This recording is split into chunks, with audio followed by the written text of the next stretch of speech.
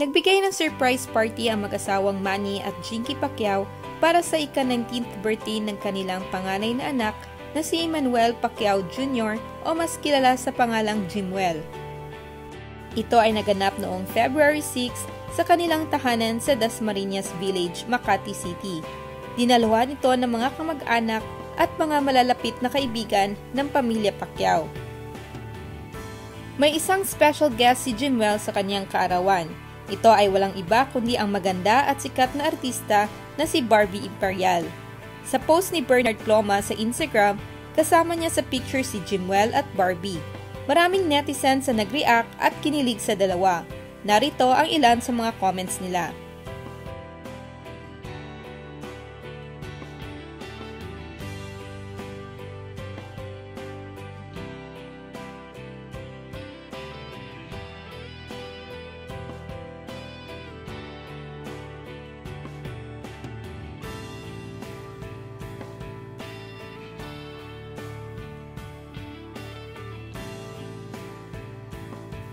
Kapansin-pansin rin ang pag-like ni Mommy Jinky sa post ni Bernard.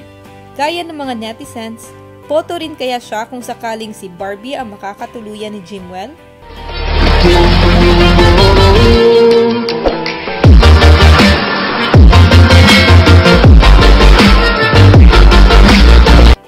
Parehong single si Jimwell at Barbie ngayon.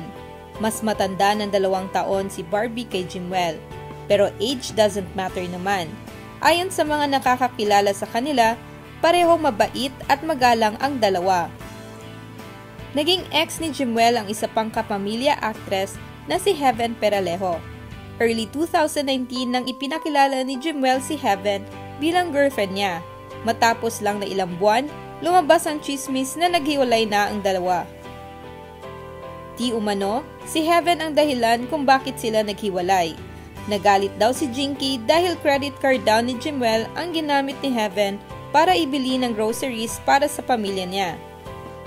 Ngunit ito ay itinanggi ni Heaven sa kanyang interview nang mag-guest siya sa Magandang Buhay. Ayon sa kanya, ito ang Sabi totoong rason bakit nag-break Don't sila ever let Jimwell. anyone make you feel that you are not enough because you are enough. And when that happens po, it's time to let go. Magkasama si Barbie at Heaven bilang endorsers ng Apartment 8 Clothing. Friends pa rin daw si Heaven at Jimwell hanggang ngayon at okay naman daw siya sa family ng ex-boyfriend niya. Makulay naman ang buhay pag-ibig ni Barbie Imperial. Nagsimula ang career ni Barbie sa loob ng bahay ni Kuya noong 2015.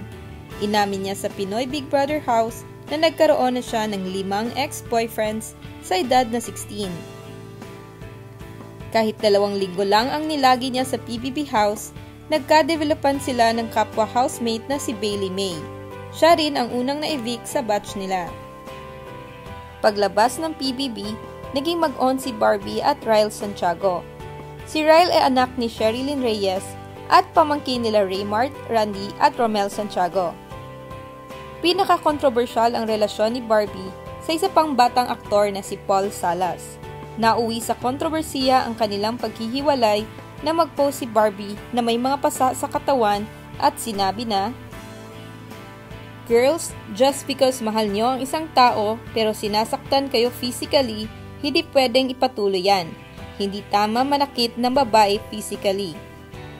Mabilis rin nagtapos ang pag-iibigan nila ng isa pang kapamilya actor na si J.M. De Guzman. Kung sa anumang dahilan ng breakup nila, yun ay hindi nila nilinaw. Kung sakali nga magkakatuluyan si Jimwell at Barbie, magiging sila ba hanggang huli?